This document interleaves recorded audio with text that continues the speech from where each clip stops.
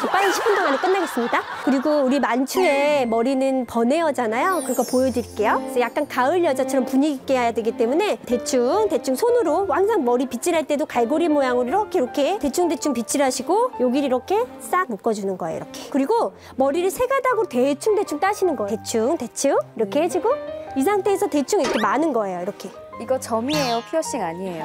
얼마나 예쁘시면 점도 피어싱으로 보여요. 세상에. 얼마나 좋으신 거.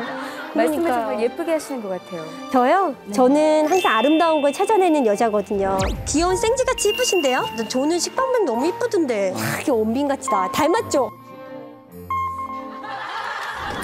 다음에요. 대충 만 다음에 이 부분에 그 육빈이라든지 이런 걸로 대충 꽂아주셔도 돼요. 그리고 이렇게 밑에 떨어지는 머리가 이렇게 하나씩 만들어 주셔도 돼요. 이렇게 대충. 앞모습으로 돈- 전진해 보겠습니다. 하, 좋아요. 네, 좋아요. 제가 빨리 가셔야 되니까 자 트렌치 코트를 드리겠습니다. 선물이에요. 아. 추석 선물. 감사합니다. 자, 좀 큰 것 같습니다. 원래 이렇게 오버사이즈로 이렇게 여려 보이게 이렇게 입으시면 되세요. 네, 가을 제가 거지. 가을 거지요. 어, 이거 예쁘신데요. 감사합니다. 고맙습니다. 와주셔서 고맙습니다. 네, 네. 좀